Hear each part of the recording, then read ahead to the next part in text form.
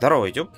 Здорово, Дзен. С вами Джон, он же Зуру, испытание Осириса 312. Сегодня в этом ролике, как обычно в пятницу, мы заценим, что же нам там привезли наши любимые торговцы на Нессе и на башне. Сделаем мы все это после вашего лайка, подписки на канал, прожатия колокольчика, прохождения по всем ссылочкам, описании ролика для поддержки стримера. Также напоминаю, что у меня тут на Твиче практически каждый день проходит трансляция, где со мной вместе можно поиграть, позадавать какие-нибудь вопросики, поучаствовать и по возиках.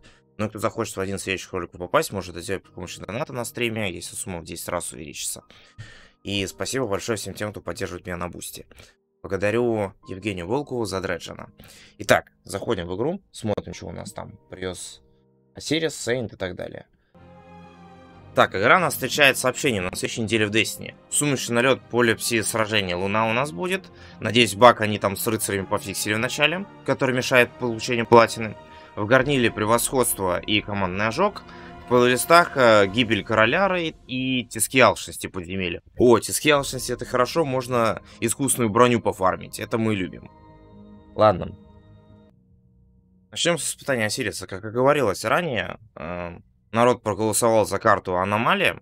Соответственно, она у нас сейчас в испытаниях Осириса, но если там, естественно, ничего не заглючило, и там ни ротация из нескольких карт, ни какая-то другая карта и так далее. То есть, по идее, должна быть аномалия. Вот. Дальше. По поводу того, какая пушка у нас там выпадает, это револьвер. А, называется он Великая Истина. Да, вот у нас эта пушка. Падает она последний раз в этом сезоне, потом ее из игры уберут. Ну, может быть, когда-нибудь вернут, но если вам она вдруг нужна, то самое время ее сейчас выформить. Вот.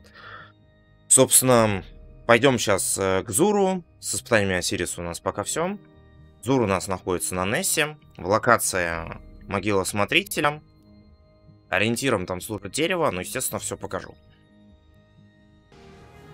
В общем, как я и говорил, ориентиром служит это дерево на Нессе. Смотрим, что нам там принес наш любимый торговец. Посланник 9. Привез он нам безжалостный плазменную винтовку со скорострельностью 1000. В принципе, при определенных обстоятельствах она может неплохо в ПВЕ наваливать. Да и в ПВП я ее пару раз видел за все время. Может быть, кому-то зайдет. Но если есть лишние 29 легендарных осколков. Клятва Синобу, улучшенный рикошетный гранат для охотника, экзотические руки. В принципе, статы неплохие, но Руки такие. Э, ситуативные. Реактивный барьер. А, экзотические руки на титана. Попадание в ближнем бою накапливает взрывную энергию защиты. Ну, то есть, когда вас кто-то ударит в ближнем бою, можно противнику пол хп снести и таким вот образом его добить одним ударом с руки. Многие ПВП этим пользуются, ну и ПВЕ для защиты от мобов. От мелочи. Тоже неплохие статы можно приобрести для коллекции. Ну и корона бурь. Очень часто используют сейчас в билдах на электрических варлоках в ПВЕ. И в ПВП, в принципе, тоже периодически встречается неплохая голова. Добивающее попадание от способности молнии или электрошоком восстанавливает способности молнии. Правда, статы такие себе. Зачем варлоку столько подвижности, я фиг знает. Ну ладно. А, что же у нас по пушкам? Вольфтрон. По-моему, я не помню, крафтится он или нет. По-моему, нет. А, стреляй, подбирай ададжио. Можете попробовать, если у вас нет электрических луков. Винтовка Дзянь. Система автоспуска, когда у нас это в настройках есть. Ну окей. Взять пофаниться чисто. 7 Серафимов, пистолет-пулемет. Устойчивую заготовку из стрекоза. Взрывной темперамент, если у вас не было, можно приобрести несколько роллов, чтобы при помощи... Точнее, несколько пушек, чтобы при помощи гармонизатора 5 штук сделать ее крафтовой. Достаточно хороший гранатомет для ПВЕ. Ну и в ПВП, в принципе, парочку людей с ним видел.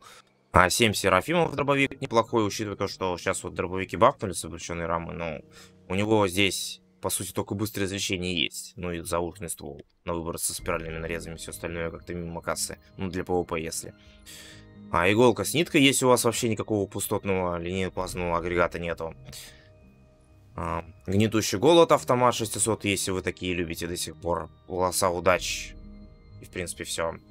Ну ладно. Дальше у нас тут идут трансмогом. Э, шмотки от предыдущих сезонов. Спасибо, что хотя бы не сломанные. По статам. Так, руки нет, тела нет. Метка, да, естественно. О, неплохая голова, 28 восстановления, 16 силы. Ну и такие себе ноги. Что у нас там по пушкам? Укмун движешься целью, ждем первый выстрел или дальномер. Пропускаем. История мертвеца, но если только и вы там в ПВЕ не захотите с ним бегать из-за жизненного обеспечения. А так, э, Ждем движущая цель, а, либо быстрый прицел, либо стрижающее оружие. Так, ну ксенологию мы, естественно, берем. Сейчас быстренько посмотрим, что у нас там других персонажей. Так, на охотника у нас а, руки 22 подвижности, 16 силы и 10 восстановления. Ну, честно говоря, такие себе.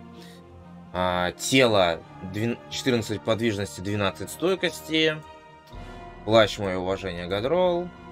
Ага. Голова нет сразу. Ноги тоже такие себе, 58 тотала и 20 и 19 установлением. Что у нас на Варлока? Что у нас на Варлока? На Варлока у нас что? Руки.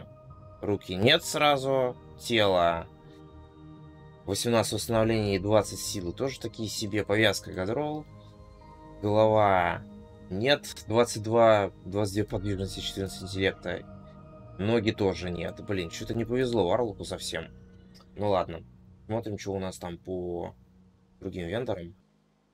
Если вы вдруг скучали по автомату Скэтлуку 600, то он сейчас продается у Банжа. Не знаю зачем, но ладно, я в этом подержал в курсе. Стреловидный тормоз, э, высокоточные патроны и под давлением в купе с глазом бури. Затерянный сектор у нас сегодня находится, сейчас посмотрим где.